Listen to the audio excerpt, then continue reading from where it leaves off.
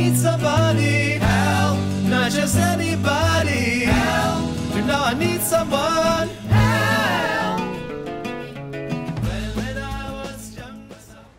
Hi folks, Larry here from CannedHamTrailers.com and today we have a special video that I'm beginning.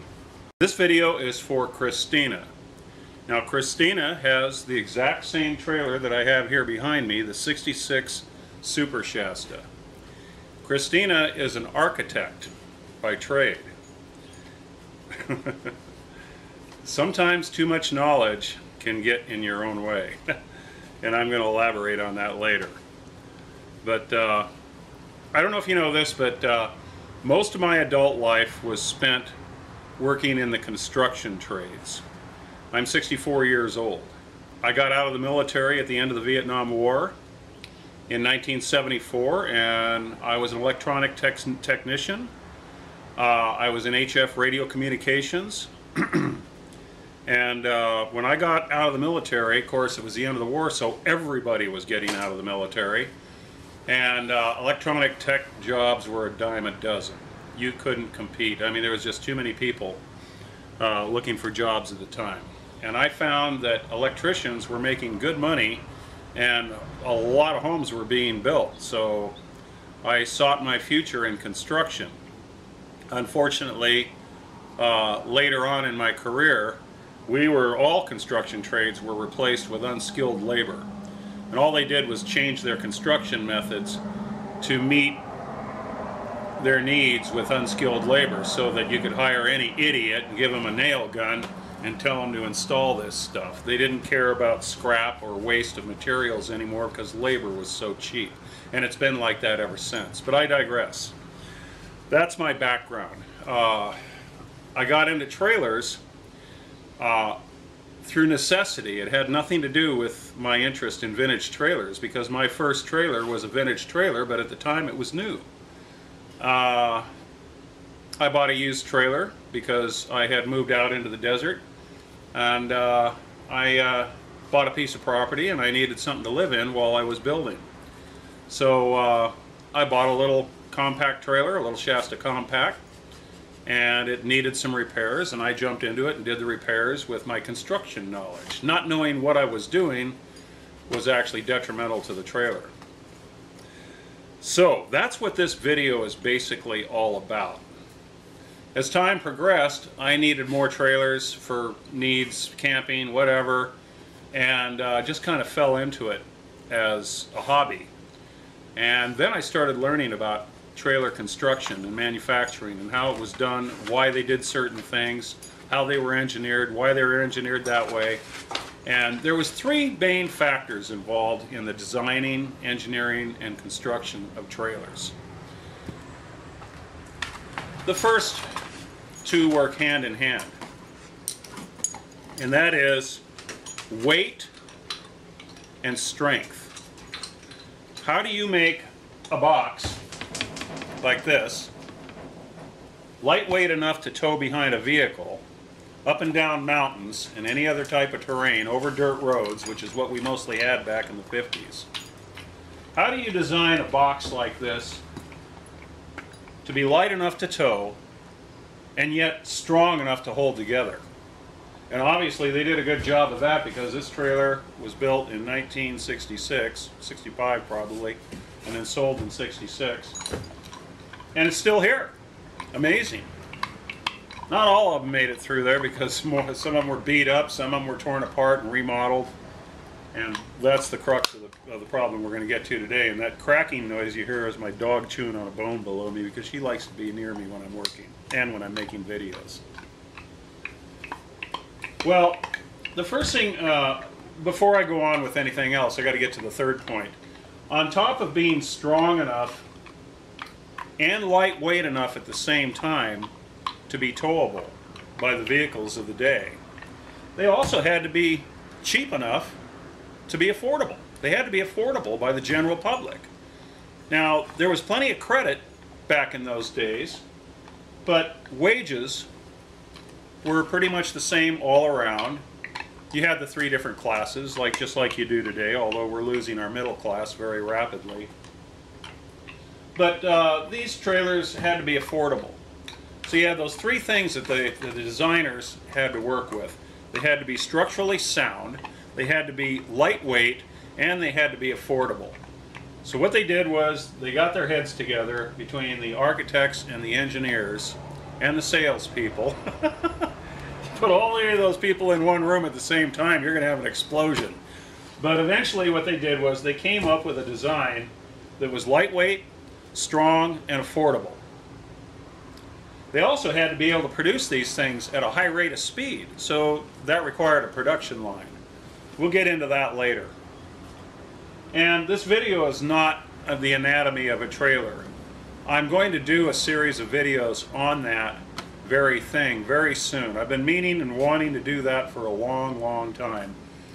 And I'm finally getting to the point where I realize it's got to be done. It's got to be done soon because there's too many people going out and paying way too much money for one of these old boxes on wheels. And then they go in, the first thing they do is they gut the trailer.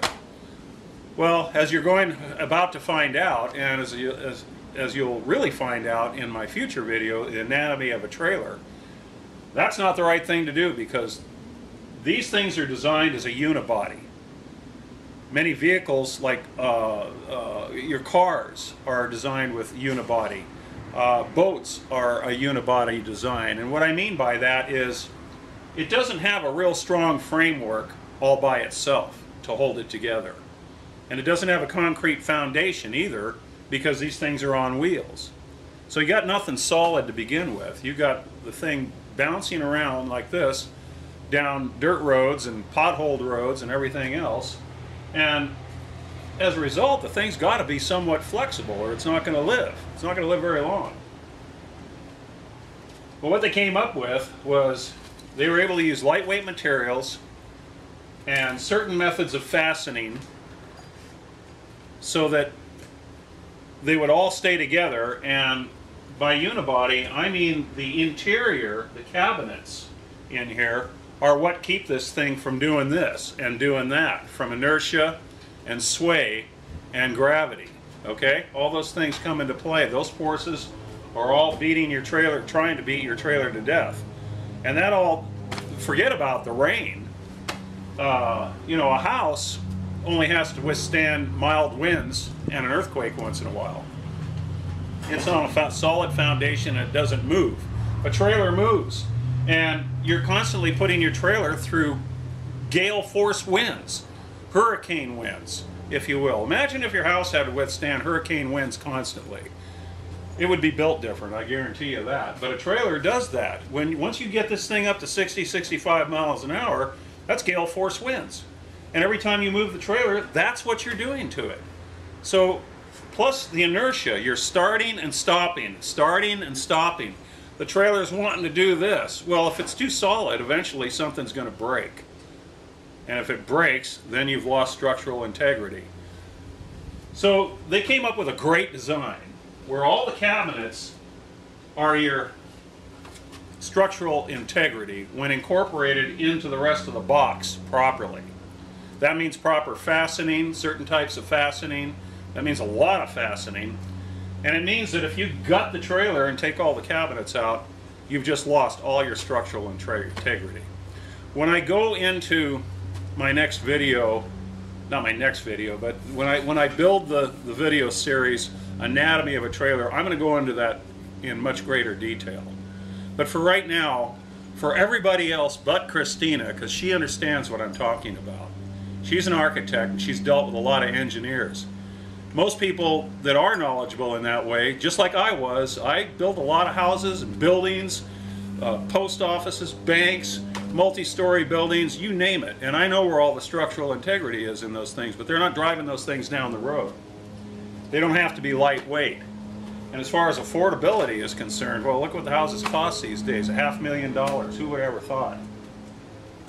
This video is for Christina, but as you'll find out in my video series Anatomy of a Trailer, there's a whole lot of thinking that went into the building of this trailer. So if you think for one minute that you're smarter than all the engineers and all the designers and all the architects that put these things together for the last hundred years, you're wrong. You don't know enough. in some cases you may know too much. That's where engineers get themselves into trouble. I've worked for engineers, I've worked for architects, I've worked for contractors, I've worked for myself. I've remodeled, I've rebuilt, I've built from new, uh, from scratch. I know all that.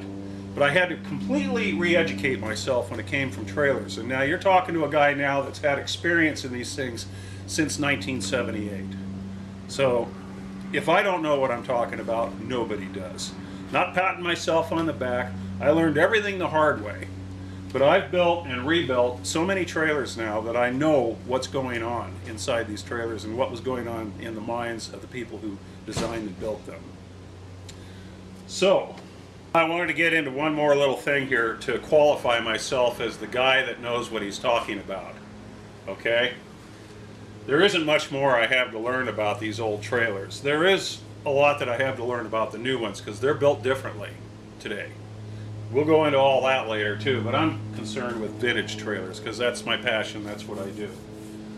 Through my travels and my experiences over the years, I have actually been able to talk to people who worked on the production lines. I've been able, of these old trailers, some of them are still alive, believe it or not. I talked to a guy that worked for Forester. Uh, turns out that Forester was a neat company. They built boats during the winter, and they are let's see, they built boats during the summer and they built trailers during the winter. Made sense. And you'll see that if you ever tear into a Forester. If you know anything about boat building, which I have built a few boats too, you'll find out that uh, uh, they, there was a lot of carpentry in there that I went, oh, this looks like boat building to me and turns out I was correct. So it turns out I was correct in my thinking. They are boat builders and they design trailers too. Kind of neat because I think boat craftsmen, uh, carpenters, boat carpenters uh, are much more knowledgeable than any other like like house carpenters or whatever. So I uh, I know Steve Loomis, uh, Hemet Valley RV. He's been in business and working in trailers his whole adult life. His father owned the company that uh, built my house trailer, my mobile home. Uh, as a matter of fact, Steve Loomis actually was in my mobile home back in 1986, helping to put it together. He was working for the company that built this back then, which was his father. And today he owns Hemet Valley RV and Siding, as you all know, if you follow any of my videos. So I have been able, I, I was blessed with being able to meet all these different people who have been in the business for a lot longer than I ever thought of being and uh, gained a lot of knowledge from these people. And I'm going to be bringing you more of that knowledge as we move along. So that qualifies me, I think, to be able to talk to you about what's right and what's wrong. There's a lot of people on YouTube trying to show you how to build these trailers and they don't know what they're talking about and they're doing it all wrong. And I figure it's time that I finally come out with a video that sets sets it straight on what you can do, what you can't do, what you shouldn't do. Because mark my words here now. I predict that in the near future you're going to start hearing about trailers exploding on the freeway. And that's because they gutted them, they tore them apart, they put them back together all wrong, and they look cute and they look pretty and they sell for high profits because they didn't do anything right. All they did was puttied and painted and covered everything up, all the rot and, and uh, uh, bad wood and everything with putty and paint and made it shiny and cute with pillows and curtains and all kinds of other crap. And uh, underneath is a bunch of rotted wood and you get this thing up to 70 miles an hour on the freeway and if a rock hits a window and breaks it, boom, that thing's going to blow up. And that happens to a lot of trailers. The rock hits the window and breaks it, but if they're left alone or rebuilt the way they were built, they won't blow up. But if you've taken all the structure and structural integrity out of it, it's going to blow up right on the freeway. I have photographs of a trailer that this happened to that we call the pink disaster. And I'll include that in this video somewhere. Or in, actually, I'll include that in my video series, Anatomy of a Trailer. But again, I digress. That's not what we're here for today. Christina's an architect. She did a beautiful job of redesigning her trailer. She kind of knew that she needed to keep things pretty much the, the way they are because she doesn't know the, the forces and the, stuff, the stress that's put on a trailer when going down a road, but she kind of knew that they probably knew what they were doing when they designed it. But she did something completely wrong. And I don't mean to put Christina in front of all you people and, and, and embarrass her in any way. It's just that I can't make a video that's I can't take the time to make a video just for Christina. I know that everybody else is going to be watching this, and I want you to know why. The only thing that Christina really did wrong was the design of her roof. She redesigned the roof, uh, the framing and everything, in a way that would be fine for a standalone building that wasn't going to go anywhere, but for a trailer, it's terrible. Was way overweight. She used real heavy lumber, 2 by 4s and things like that. Uh, way too much framing. Uh, and uh, that's the first problem. It's going to be way too top heavy now.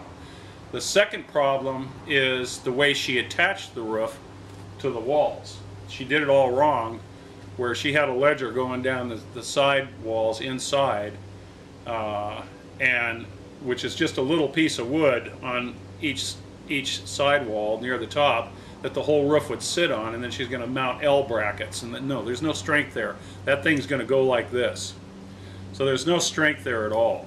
And it's way too top heavy. I don't think it would have lasted through more than two trips before everything started falling apart. So I stopped her in the middle of it. I, she asked for advice and I gave it to her and I told her this isn't going to work and I'm sorry that you did all this work but actually it's not going to be too much of a problem. She didn't get far enough along where it's going to be a lot of wasted time. And she could just pop that roof off actually and use it for a standalone building if she needs a shed. So what this video is all about is to show her how to get back to the basics and design the roof the original way, the way Shasta did it, with their engineers, their qualified engineers, and their qualified architects. So we're going to be getting into her problems first. And uh, you can follow along. Uh, I don't know that it's gonna be, it'll explain to you some of the new designs. If you've if you followed my other videos with canned hams, you'll notice the biggest difference in the canned hams is the edges and the way they're constructed all the way around. This is the edge. From here to the top, all along the top and down the back, that's the edges. That's where the edge board goes, or curbing, as I normally call it. And the same thing applies here, except that they have this rabbited framework. And now the paneling, instead of instead of going all the way over the top like this, it goes halfway through the wall like this in this rabbited edge, and then they put the uh, the curbing in, as you see here. This is their curbing. They made everything straighter and less round. Also, that has a lot to do with production speed through the production line. They made these changes not for really for strength, but for uh, production. That was Shasta. They were always thinking, how do we make more money? How do we build more trailers faster? And keep them still as strong so they don't fall apart on the freeway. Which they didn't have too many freeways back then. Freeways were kind of a new thing. So that's what we're going to get into first today. Uh, and with probably another video app follow up on this on this one. Uh, we're going to get into Christina's problems. Uh, she already understands about the fact that the cabinets have to go back the way they were and they have to be refastened the way they were. Uh, she was going to build this roof. I'll show you a picture of it which sat inside the walls. No structural integrity there at all. And then she was going to panel it. That removes a lot of the uh, structural integrity. And then she was going to put the cabinets back up in there, and she were, had deleted a couple of the cabinets to the point where you're losing structural integrity every direction you go here, Christina. So she decided that it was worthwhile because she wants her dream trailer to last another 60 years at least. And I don't blame her for that. When you put this much work and effort into something, you want to make sure it's going to last and that it's not going to be degraded by weather and road conditions. So you, basically, like I say, we're going to be going through her needs in this video and probably the following one uh, because I have a trailer as a template for her right here. It's all taken apart and uh, that's one more thing I want to hit on. We do not gut trailers. You gut fish, not trailers. you disassemble, and as you move along through your disassembly, and that means you unscrew every screw and you pull every nail. You don't just saw through everything. I know you can use a sawzall to remove some of the cabinets, but you have to keep in mind when you put them back in, they have to be refastened the same way they were fastened originally from the factory. Otherwise, it's not doing you any good. You're not putting cabinets in to a structure that will hold itself together fine without those cabinets. In a house, that's the way it's done. But a house isn't, again, isn't driving down the road. You're putting cabinets in here that are part of the structure. And without those cabinets, you remove 50% at least of the structural integrity. Actually, in, in some of the cabinets, it's a lot more than that. It's all of it. 90%. So, from this point on now in the video, I'm going to be going through Christina's needs because all she really needs to do is to rebuild her roof the same way Shasta did it. But before she can do that, she has to she has to rabbit the the uh, side walls to accept this paneling, this framing, and this curbing the same way that it was built in the factory. And the other thing she has to do is she has to stand her floor to ceiling cabinets up in the trailer before she puts the ceiling on. So that's where we're going to go now. If you get confused, please don't ask questions in the comments section. Uh, email me through my website. That's what it's there for. I don't like to answer too many questions in the comments section because it's just too long and drawn out. Email me. That way I can send you pictures or send you to another video that explains the answer to your question. I have a website, cannedhamtrailers.com all my videos, except for the vlogs, all my videos are listed in there for each build. And they're listed with what was done in that video. So you can search through there. Not with a search button, I don't have a search bar, but you can look through my website and pinpoint your exact need for the day, for where you are in your project. I do suggest that you watch at least one of my builds all the way through so you understand how all this works just picking and choosing certain parts of it isn't going to help you much if you don't understand how the whole thing goes together. So, let's move on with Christina's video. All right, Christina. Here the uh, curbing has been removed, not demolished. so you can actually see how the paneling slips all the way up to this rabbited corner and then it's nailed in. See there? Now this is all going to be replaced. Thankfully, I still have the front panel on, so you, it's easy for me to show you this. Over here you see curbing. Now, they didn't follow all the way. They didn't make the, the, the joints tight. They didn't really need to, as far as they were concerned. I wouldn't do that. I'd run it all the way from here to there. But it also gave them a place to run wires through. There's a hole there to run wires through. So you got to remember that they're thinking production, production, production also. So uh, Shasta was a little sloppy in their building techniques. They always have been, they always will be. But you can see the paneling goes in first, right up, right up to the edge of this rabbeted. This type of cut into the wood is called a rabbet. Okay, it's the way drawers are made. Alrighty? And then the curbing was placed over it. And of course, that curbing is there to give this whole corner strength. That's all it's there for. In the canned hams, this curbing goes all the way out to the edge because this, this piece, this rabbeted piece isn't there. and actually, the way I'm doing it is on my front and rear walls, I'm going back to that method. Let me go over there. In Vlog 1, you saw when I was building these, what I call wings. I always call the corner of the trailers wings because they look like a wing.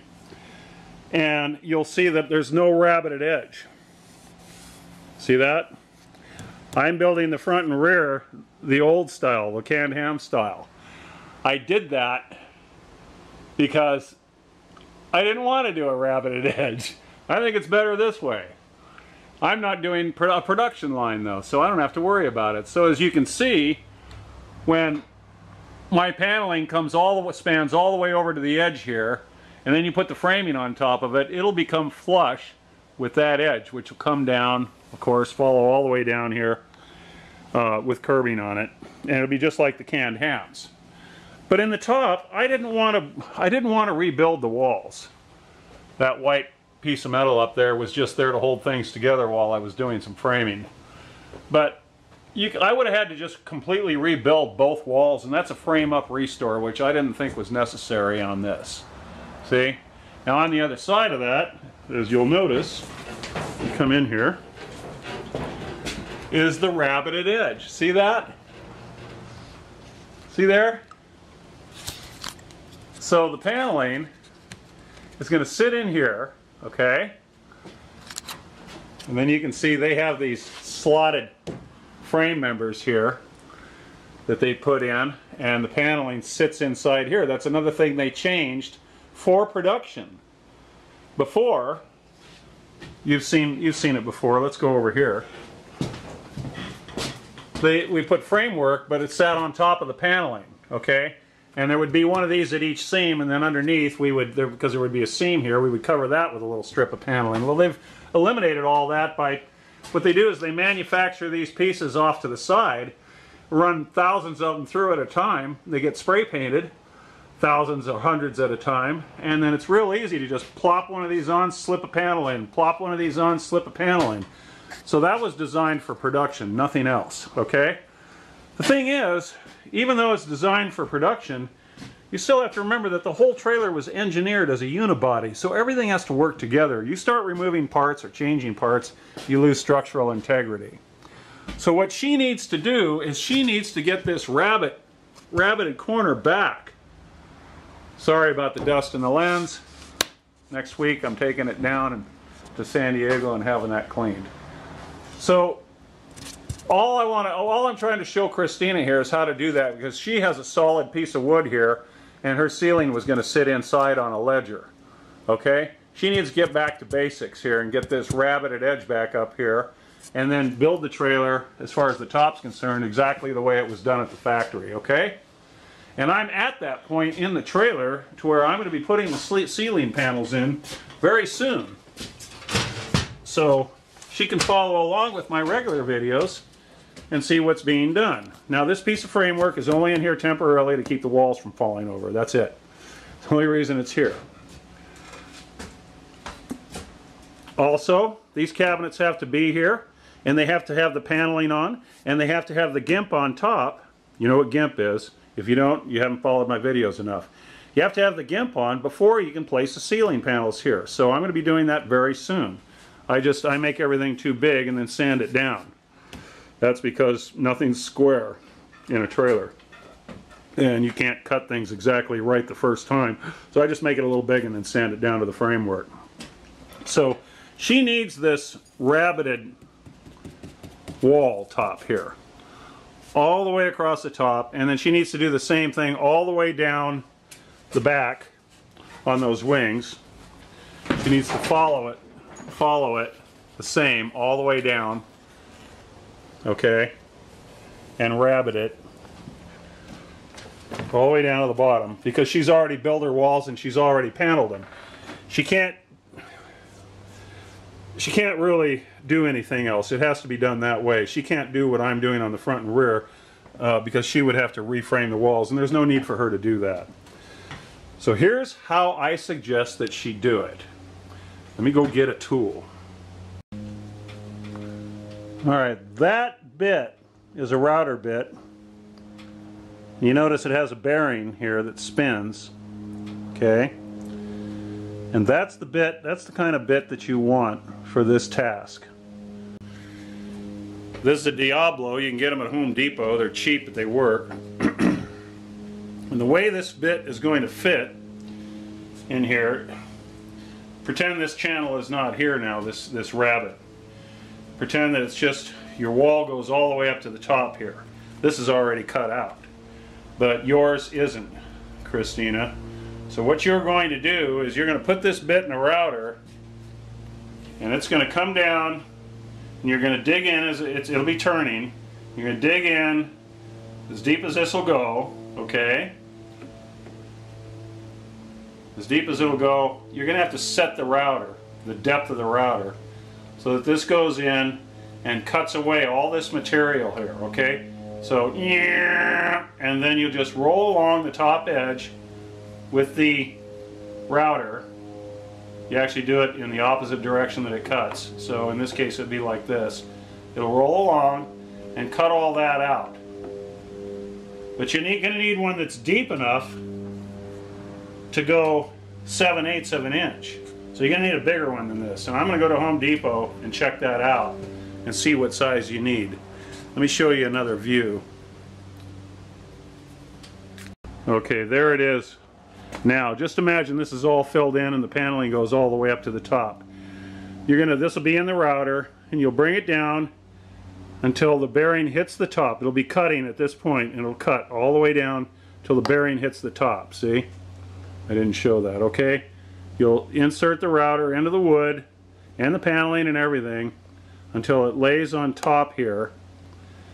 Alright, and then the bearing will guide you all along the top of the wall like that. Now you always cut, you move the router in the direction that you're cutting.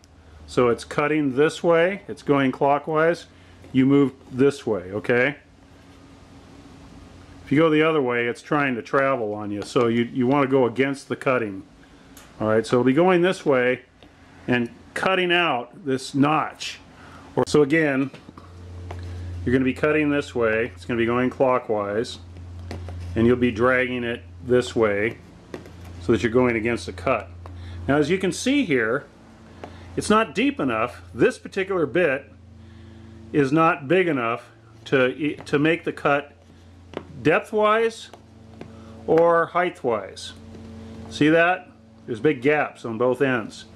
Depth-wise is not a problem. If it's not deep enough, you just run through the whole thing, you know, making sure to cut your paneling, going as deep as it'll go, and then you just reset the depth of the router. I'm going to go through the router thing in a minute. I don't know if you know how to use a router or not, but you just make more depth. After you've made one run this way, just increase the depth until you get it to where you need it to be and it'll be flush up against there and make another run and that'll finish it depth-wise. As far as as far as height-wise is concerned, you need a bigger bit. So what I'm going to do is I'm going to go to Home Depot because I want to be able to physically look at these things. I don't want to just look at them online. And I'm going to see what size bit you need for this task. Let me find something to do with this here. So, don't drop it. It's these bits are expensive. Now actually, I can see, because there's little ledges in here, that they had to do the same thing. they were limited on their tools. So they ran it through twice. I can see there's little tiny edges in there. Can you see that? Where they had to go back and do it again. And remember, they didn't do this after the wall was built. I don't think. Maybe they did. They might have. I kind of want to think that they did it with the paneling on here, but maybe they didn't. I think they, I think they installed the paneling and then did this, but it was laying down on a surface. So you're going to be pretty much doing it the same way they did. Now also remember, you don't want to ruin your bit, so you want to get any get rid of any nails or any any metal, staples, whatever that's in the already in your new wall before you do this. So you'll have to pull all any nails that you have around the perimeter like this because you, you're going to be cutting down in there. You hit a, a metal nail, you're going to ruin that expensive bit. So let's see. We don't have to worry about depth this way. With my paneling, it looks like it's, uh, uh, let's see, 11 sixteenths. Okay? With mine, it looks like it's 11 sixteenths of an inch deep. But like I say, the depth can be changed with the just by running it through a one pass and then deepening it with the router, which it looks like that's what they did too. What we're concerned with is this measurement. And as I said, and I that was a guess, I just assumed, and I was right, it's 7 eighths of an inch. So you need half of that. Or actually, well, that's what we have to figure out we have to get the right size router bit so that you'll end up with a 7 eighths of an inch deep cut here. And that means there has to be 7 eighths of an inch between that bearing and the bottom of the blade. So between that bearing, the edge of that bearing, and the bottom of that blade has to be 7 eighths of an inch. That's going to be a pretty big router bit. So let's go see if we can find one like that. If we can't, I have another idea. Uh, let's hope we can get a router bit that cuts that deep and cuts exactly that deep because you can't change this very easily. But let's go to Home Depot and see what they got. Today,